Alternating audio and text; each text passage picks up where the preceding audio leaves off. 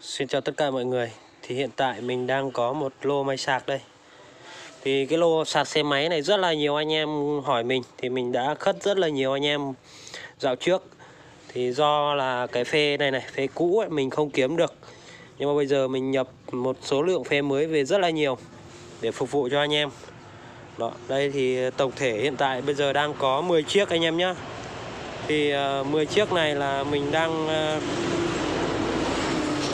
có một số anh em đã đặt rồi, thì có một số là vẫn còn. Đây. Đó. Đây anh em nhá, máy rất là đẹp luôn. Thì à, kẹp là bây giờ mình sẽ mắc kiểu hai chân thế này. Đó anh em nhé mắc kiểu chân này sang chân này để nó chịu dòng cao hơn.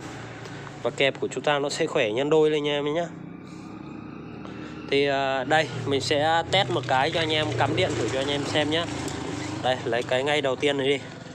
Đó ô chết cha cái này nó đang cặp vào. Đó có hiển thị bóng báo bóng xanh. Thì uh, nó không phải là riêng một loại bóng đâu.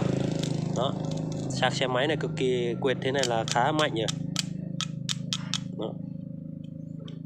rồi thì anh em nên hạn chế quẹt này nhá bởi vì nó hại diode anh em ạ.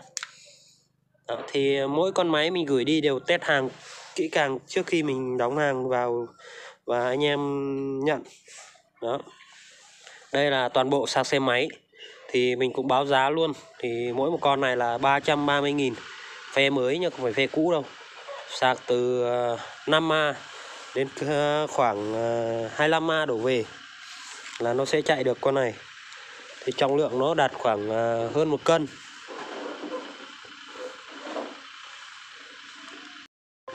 Đây thì mình có mang cân ra đây cho anh em xem rồi.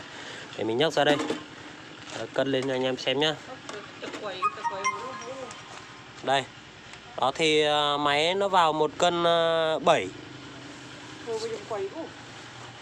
đây. Đó. Thì trọng lượng uh, cả một chiếc này là một cân 7 thì mình đóng hàng vào nó vào 2 kg anh em nhé đây cân này đó, đó cân này. à nó đang vướng cái dây. Đó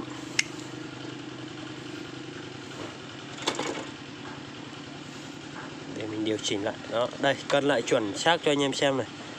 Đây cân 6 thì đóng hàng vào là nó vào 2 kg.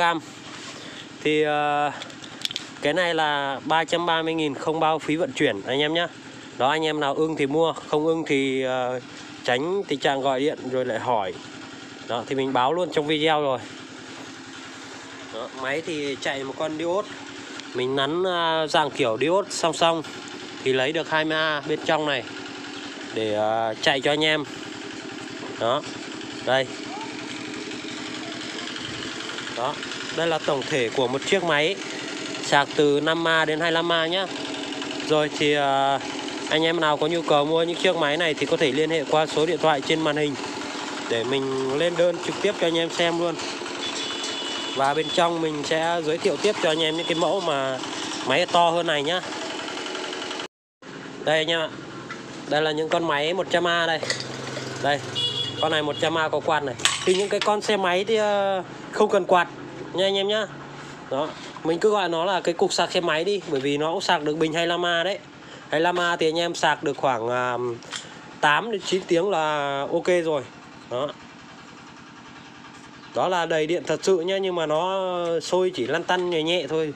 Đó, đây thì con này là sạc cho bình 25 30A này sôi luôn anh em này mình đảm bảo với anh em luôn. Đây, con này thì sạc được 25A đổ về. À đâu, quên, mình chưa đây. 25A đến 70A đó. Và đây con này là 200A này. Đây 200A khá là to và nặng. Đây. Đó. thì con này à, 200A nhưng mà giá nó sẽ à, mềm hơn giá loại 24V nhé 24V thì mình quấn phe 50 đương nhiên là giá nó sẽ cao hơn rồi đó, đây là cái con 200A này. Đó. Đó, chi tiết máy là chỉ có vậy thôi. Một con diode và một cuộn dây bằng đồng. Thì dây này mình quấn dây một ly hay một ly 15 là sạc rất là ok. Đến bình 25A rồi. Mà 25A thì anh em nào muốn sôi bình ấy, thì loại này không sôi được đâu nhá anh em nhé nó chỉ lan tăn thôi. Nó sôi nhẹ, chứ không phải là không sôi được. Nhưng mà thời lượng nó lâu anh em nhá. Đó, anh em nào tùy theo mục đích sử dụng của mọi người thì mình sẽ tư vấn cho mọi người cái cách mà lấy máy nào cho nó hợp lý. Rồi thì mọi người nếu mà ai có nhu cầu mua những chiếc máy này thì có thể liên hệ qua số điện thoại trên màn hình nhé rồi, xin chào tất cả anh em.